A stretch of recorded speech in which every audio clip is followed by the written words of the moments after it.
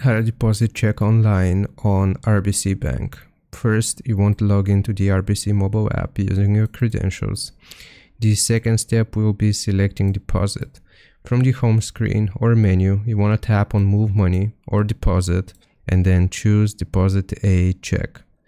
The third step will be choosing the account. You want to select the account where you want to deposit the check, either checkings or savings account. Then you have to enter the check amount manually enter the amount written on the check.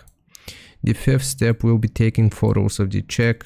You want to follow the on-screen instructions to photograph the front and the back of the check. Ensure that the check is well lit and visible within the app's frame. And you have to sign the back of the check if that's required. Confirm and submit. Review the details of your deposit, then tap submit to complete the deposit.